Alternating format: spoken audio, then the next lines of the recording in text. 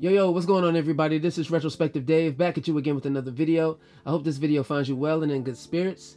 And the wait is over, folks. We finally have the Air Jordan Flint 13 2020. This is the best Air Jordan release, in my opinion, of 2020. Uh, classic colorway, classic silhouette. Definitely a grail in many people's eyes, including myself. And arguably the best Air Jordan 13 colorway of all the OGs. So y'all let me know in the comment section what you think is the best 13. But this one is definitely the one for me. Um, we last saw this release in 2010. Before that, 2005, and originally in 1998. I had both the 1998 and the 2005 version. I was very disappointed in the 2010 version because it didn't have the 3M material, and that's actually what caught my attention when I was 8 years old, begging my mom to buy me this shoe, and she finally got it for my birthday. So I was super stoked to have it back then, and I'm definitely stoked to have it now.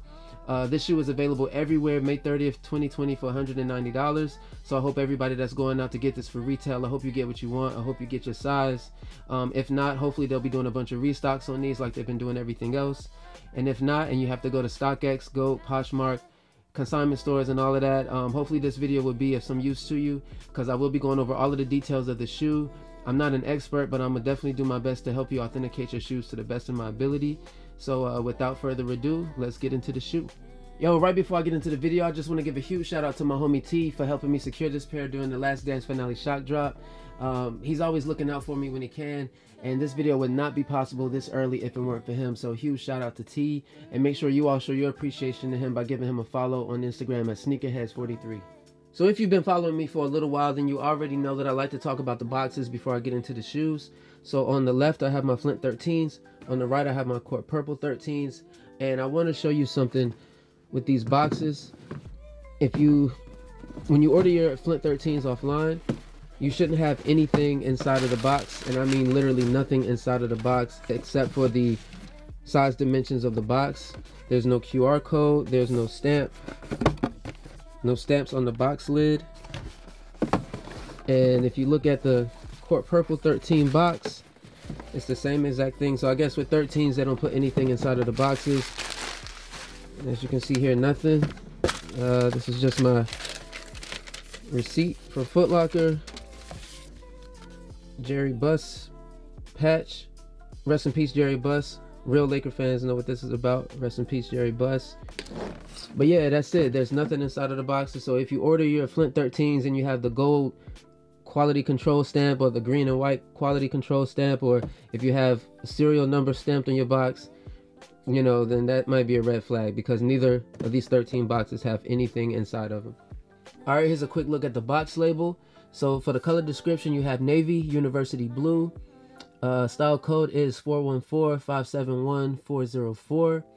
And as far as the box label, the text on here is a little debossed, very subtle. It's kind of like all the other Jordans that have come out recently. Um, on this particular box label, though, I don't feel it as much. It's very subtle, like I said. Um, so you'll definitely feel it more on this barcode area. So if you take your thumb or your finger and you rub it across the lines on the barcode, you will definitely feel that they're uh, debossed a little bit. Um, this is for a size 12, so your barcode numbers should be the same for a size 12. If you wear anything other than a 12, you will still have the same numbers here up until the the 641 part. So the 641 should be different if you have anything other than the size 12. But for the most part, all of the other numbers should be the same. All right, this is the back side of the box. So up here you have some uh, Nike information. This is not a stamp, by the way. This is not a sticker. This is all a part of the box. It's flat. Um, you also have your recycling symbol down at the bottom. Nothing else on this side. And that's it. All right, so when it comes to the shoe paper itself, it's to have two different textures. One side is to be uh, like a waxed texture. And then the other side is to be very dry. Like just, it's to feel just like regular paper pretty much. So one side is waxed, the other side is dry. All right, the first thing I want to touch on is the sock liner. Um, so I know everyone has different eyes everyone has different optics so you may not be able to tell the difference on camera but if you have these shoes in person in hand then you would definitely be able to tell the difference between the shades of blue on the uh, mesh area where the 3M is and the uh, sock liner itself so the sock liner is a little bit more washed out than the blue on the side here this is a little bit more uh, it's a little bit darker on the side panels and even on the border right here than it is on the sock liner. So when you order your shoes, um, just take a good look at it. The sock liner is definitely a different shade of blue. Um, on some of the fake versions that I've seen, the, the sock liner and the mesh area are actually the same sh same shade of blue. So on the real pairs, like I said, just keep in mind that this part here, the sock liner is a little bit more faded uh, than the uh, side panels. All right, folks, moving on to the hologram. Um, if you pay attention to the plastic that's on the hologram, it's actually cut perfectly almost to the circle or the uh, shape of the hologram. Um, it's not going outside of the circle at all, but it's just cut real close to the uh, shape of the hologram itself. So if you order your shoes and your plastic is going over this circle, red flag. Um, it's also like that on the grade school sizes. I did see one grade school size um, where this plastic was actually cut to the circle itself. So keep that in mind. All right, so next I want to direct your attention to the Jordan tab near the toe box. Um, I found this to be very deliberate on Jordan Brand's part because it's like this on the other shoe as well. But if you look at some of the letters, they actually have threading that's missing whereas the A and the N is pretty much filled in. So if you look at the J, on the bottom half of the J, uh, it's got some threading that's missing here. If you look at the O, the top half of the O, missing threading, bottom half, same thing. The top of the R is missing some threading there, and then the top of the D and on the bottom of the D is the same thing. So the O and the D kind of have the same uh, layout in, in, terms of like the missing threading on the top and the bottom. And then as you can see the A and the N are pretty much filled in. And like I said this is very deliberate because if you look at the other shoe it pretty much has the same design for the most part. Alright so I tried to make this image as sharp as I could. So um, I hope you're able to see this but on Jordan's hand right here on the Jumpman you should be able to make out that he has four fingers uh, like one long continuous stitch from the pinky to the thumb. Uh, just, that's one continuous stitch there.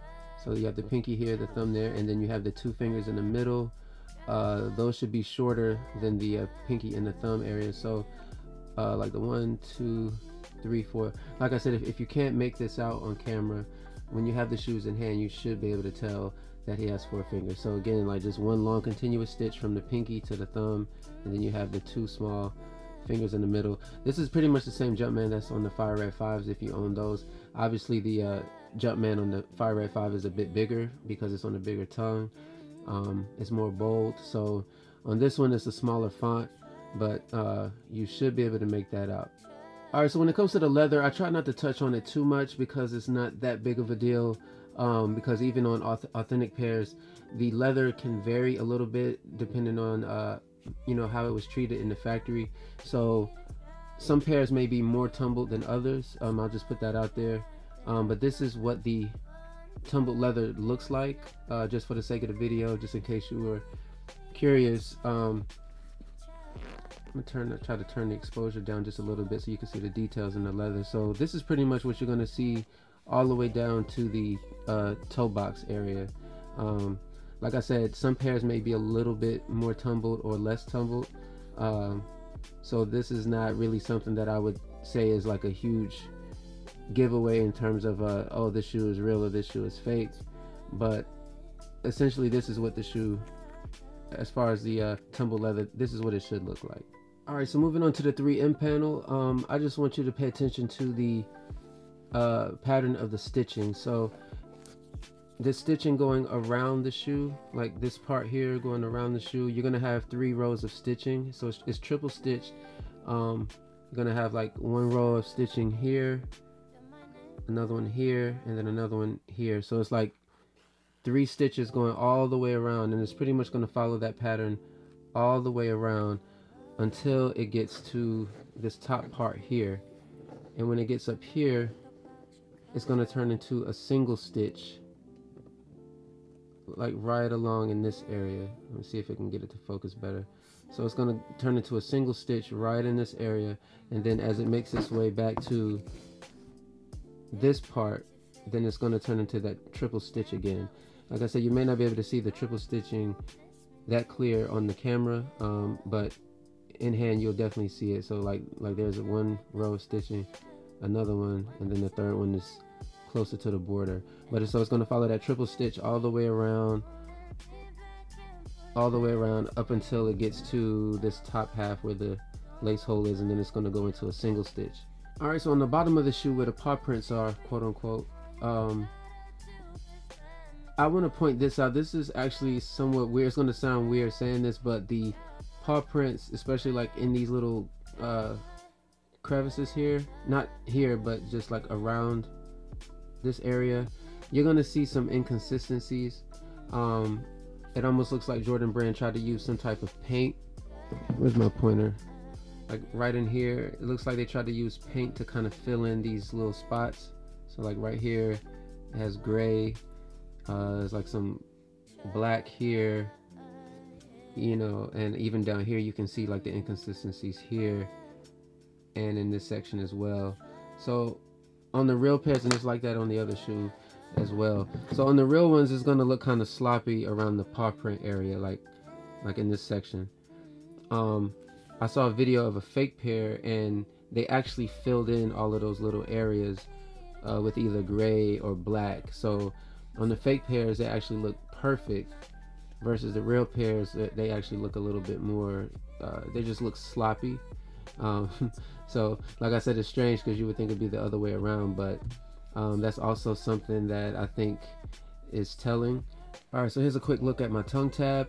Um, I don't have really much to say about the tongue tab itself because I don't have a fake pair next to me to compare.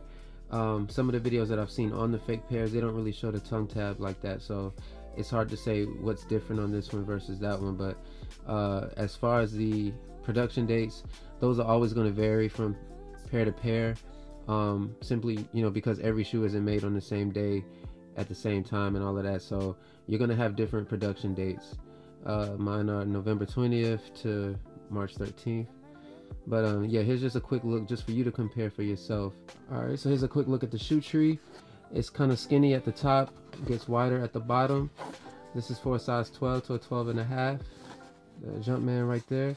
So if you look at it the part that's more flared out on this side if you flip that over you will see molded sock liner um, I think the court purples and the fire red fives those said uh, those read uh, die cut sock liner so on the Flint 13s you're gonna have molded sock liner all right here's a shot of the insole it's pretty much navy blue uh, Carolina Blue Jumpman.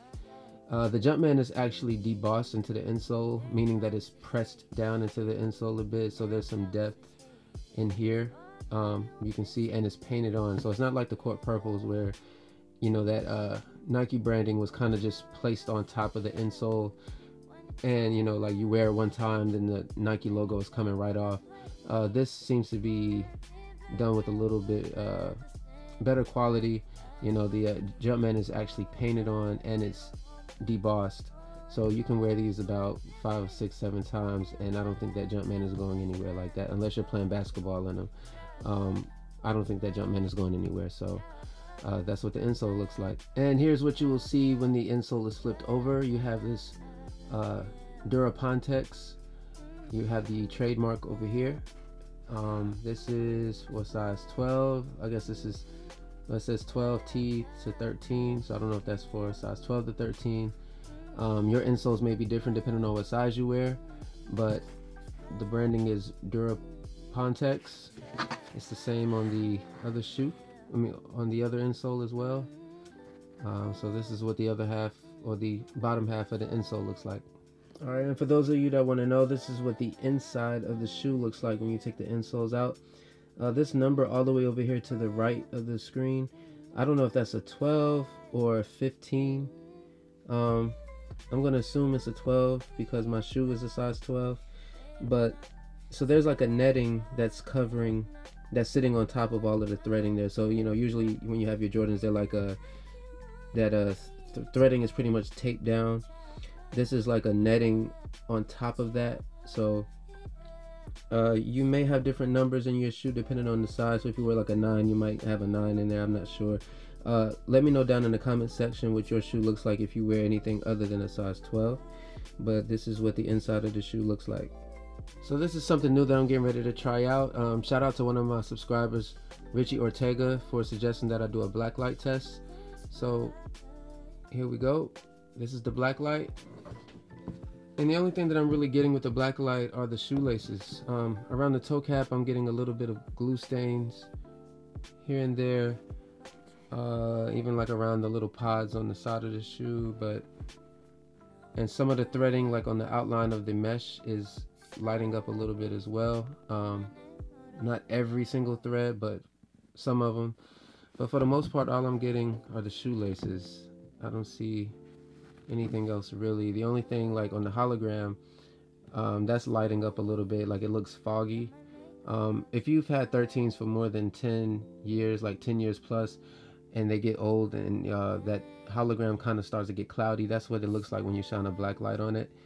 Um, like I said, for the most part, I'm shining the shoe and all I'm really getting are the shoelaces and some glue stains here and there around the toe box area and a little bit of an outline on the mesh part. Alright folks, and that will conclude today's video on the 2020 Flint 13s. This is a guided laces episode. So um, if you feel like I left out anything or should have touched on something in the video, please let me know down in the comment section. Uh, usually when I don't touch on something or talk about a particular part of the shoe, it's usually because I feel like it's not that important or it may be too hard to tell whether I touch on it or not. It may be too hard for you to authenticate your shoes either way. Um, so sometimes I might leave something out, but you might find something that I left out to be important and uh, have a different perspective on it. So make sure you leave your uh, thoughts in the comment section. Uh, don't forget to comment, rate, and subscribe. Thank you so much to all of you that have been super supportive of the channel, um, who've been writing me on Instagram, you know, letting me know that my channel has actually helped you authenticate your shoes or gave you a little bit of peace of mind. So I am available on Instagram if you do want to reach out to me um, outside of YouTube. If you have any questions, I am easy to reach um, and I will help you to the best of my ability. Until next time, y'all stay fresh, blessed, and free of stress, and I will see you all in the next video. Peace.